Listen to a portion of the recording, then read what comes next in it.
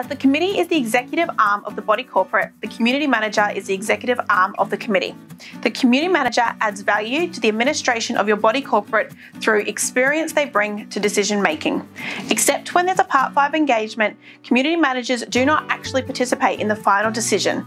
All decisions are made by resolution of the committee or the body corporate. In accordance with the administration agreement, SSKB undertakes the following on behalf of the body corporate